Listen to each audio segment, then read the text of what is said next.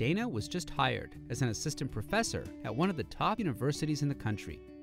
Dana knows that promotion and tenure will require meeting and even exceeding the requirements for scholarship, teaching, and service.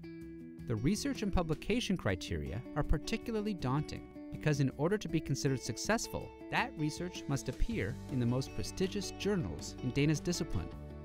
Most of these journals are published by the commercial giant Belvedere, a company known to have high subscription costs and high profit margins. In fact, the costs are so high that some universities are canceling their subscriptions. Ever since graduate school, Dana has been an open access activist. Dana believes research should be shared as widely as possible. Unfortunately, promotion and tenure requirements don't always attach much value to open access publications. If there aren't high prestige options in their discipline, Dana could damage their career by submitting work to open access journals. The solution is Green OA.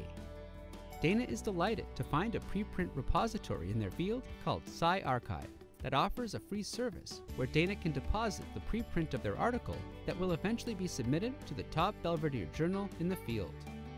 There is also a repository maintained by the University of Oregon Libraries that allows any UO faculty member to deposit their work, Scholars Bank.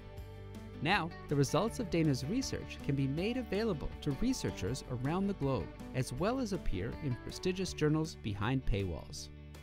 The citation statistics from SciArchive and Scholars Bank are high. The number of downloads is impressive and speaks to the benefit of archiving work in those locations.